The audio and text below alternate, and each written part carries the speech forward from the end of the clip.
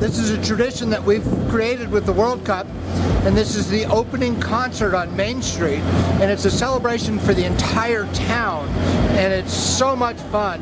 As you can see behind me it's snowing and blowing pretty hard but we have hundreds of pretty hardy people here celebrating with us so we're pretty excited. Please come up and see the events. The events are all free, they're in the evening. You just walk up Wide West Ski Run. There's going to be uh, three events, Thursday night, Friday night, Saturday night, and then fireworks after the events, and it's really a lot of fun.